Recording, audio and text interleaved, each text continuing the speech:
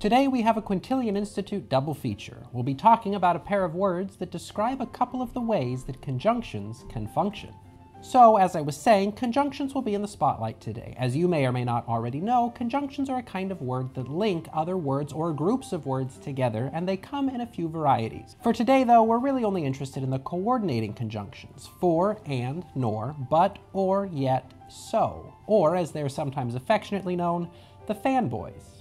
One of the most common places for coordinating conjunctions to show up is in the creation of lists. If you're writing a grocery list, you're bound to have an and in there somewhere, or if you're giving somebody a list of possible options, you'll probably include an or somewhere in that list. Well, with all of that in mind, it is my singular pleasure to introduce you to our latest rediscoveries. These two words have to do with the number of conjunctions that you include in a list, and they are polysyndeton and asyndeton.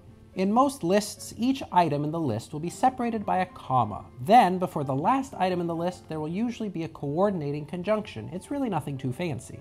But with polysyndeton, you dispense with the commas altogether and repeat the coordinating conjunction in between every item in the list. Of course, poly in polysyndeton means many, and there's no limit to the number of conjunctions that you can stuff into a sentence using this technique.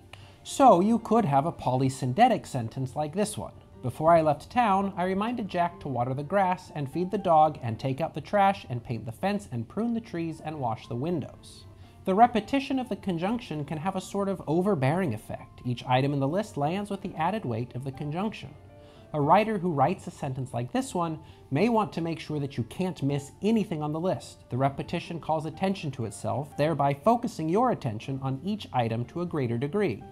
Or you could have a case of polysyndeton in a sentence like this one. Today we're offering chips, or fries, or salad, or fruit.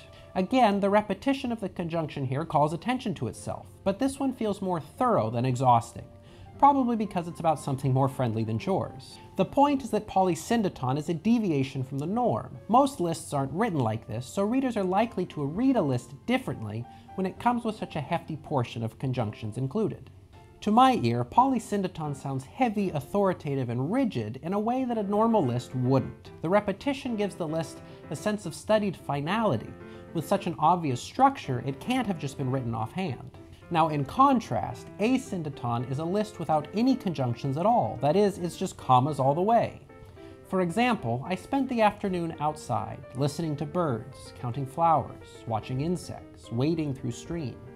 Without the conjunctions to structure the list, it feels much looser. There could be other things the writer did that afternoon, but these are the ones that came to mind. Or again, she wasn't picky. Curry, tacos, sushi, pizza, grilled cheese, waffles, it all sounded good to her. Like the previous list, this one feels kind of open. It's a list of possible examples more than the final word on the matter. So, in general, asyndeton leads to a more fluid kind of list. Without the obvious structure of the repeated conjunctions, the list feels less rigidly determined and doesn't convey the same kind of weight.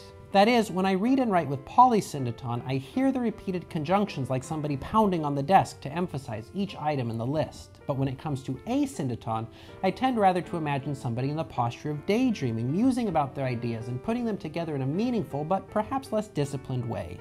Without the conjunctions to hold them in place, the ideas and items in the list are freer to flow around each other and perhaps even move in and out of the sentence. Obviously, these are not the only things that you could accomplish with poly and asyndeton. Using them in different situations will yield different effects. So give it a try and share your sentences with us in the comments. Both of these rhetorical techniques work because they're deviations from the norm. If you were to just write a normal list with a single conjunction towards the end, your readers wouldn't give it a second thought because that's just how lists work.